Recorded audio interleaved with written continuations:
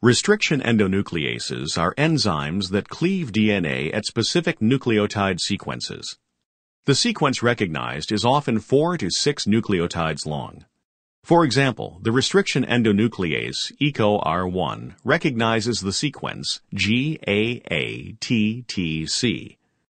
The nucleotides at one end of the recognition sequence are often complementary to those at the other end.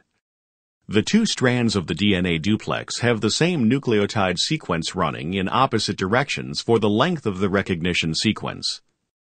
Because the same recognition sequence occurs in both strands of the DNA duplex, the restriction endonuclease can bind to and cleave both strands of the DNA molecule.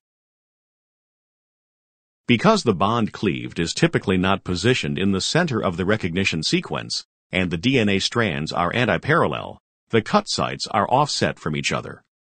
After cleavage, each DNA fragment has a single-stranded end a few nucleotides long, and the single-stranded ends of the two fragments are complementary to each other. These single-stranded ends can pair with each other, sticky ends. Once their ends have paired, the two fragments can be joined together with the enzyme DNA ligase, which reforms the phosphodiester bonds of DNA.